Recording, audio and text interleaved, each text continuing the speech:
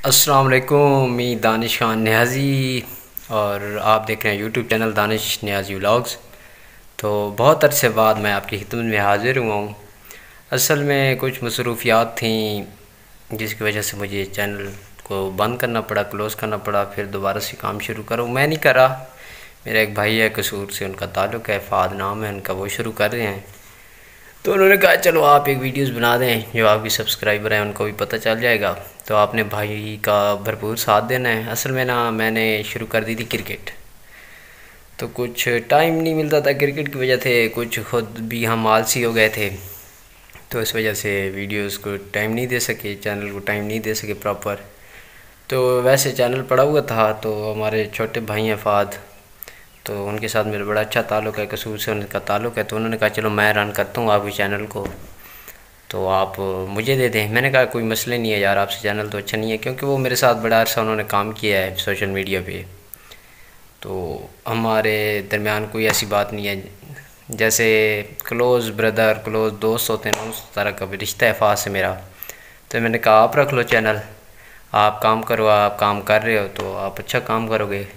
तो मैं उसे दे रहा हूँ चैनल, आपने फात भाई का साथ देना है।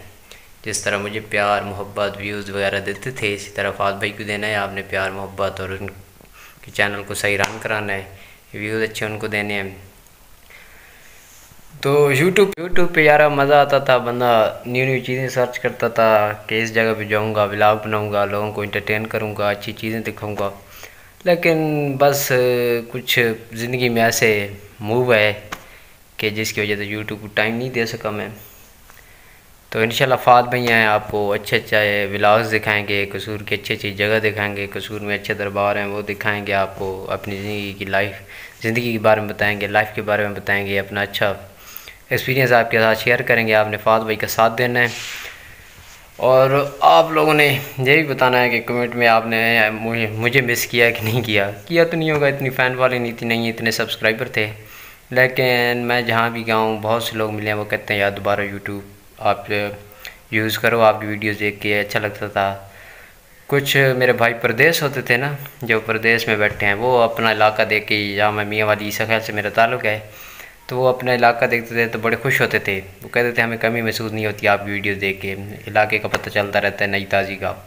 तो वो भी कहते थे आप शुरू करो। लेकिन भाइयों, बस टाइम कोई शार्ट था, कुछ क्रिकेट पे मैं ऐसा मसरूफ़ हुआ कि मैचेज़ अपनी गेम प्रॉपर टाइम फिर यूट्यूब को मैं नहीं दे सकता था, क्योंकि यूट्यूब के लिए आपको पता बड़ा टाइम देना पड़ता है, बड़ी सर्च करनी पड़ती है वीडियोस की, के डायरेक्शन के बारे में सोचना पड़ता है, कहाँ बनाएँगे, किस तरह बनाएँगे, क्या चीज़ करनी है, दोस्तों को इकट्ठा करना व्लाग्स बनाना, मुख्तलिफ़ जगहों पे जाना, वो टाइम फिर नहीं मिलता था क्रिकेट की वजह से। बस इन फ़ात भाई को चैनल दे रहे हैं तो वो आपको अच्छी अच्छी चीज़ें दिखाएँगे इन चलो अपना इलाका नहीं तो आपको पाकिस्तान तो दिखाएँगे। जो बाहर बैठे हैं भाई, वो पाकिस्तान को मिस नहीं करेंगे। तो शुक्रिया, मिलते हैं फिर इंशाल्लाह नेक्स्ट वीडियो में।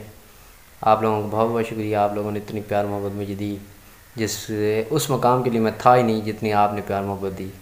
अल्लाह पाक आप सबको खुश रखे, हंसता रखे, तसरा के लिए वजदा रखे तो खुश रखे। शुक्रिया। Thank you brother